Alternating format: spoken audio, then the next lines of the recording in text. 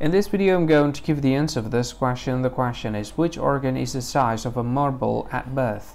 When I give the answer of this question, and the answer for the question is stomach. What is the answer for the question? Stomach.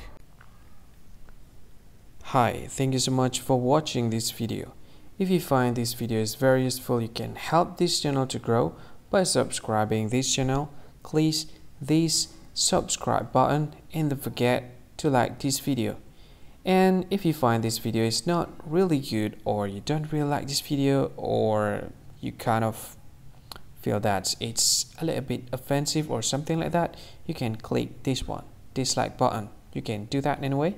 And if you want to share this video with your friend, you can share it by clicking this share button and you can share it to any any social media that you wish that is currently available at this time like Facebook, Twitter, LinkedIn, and many others.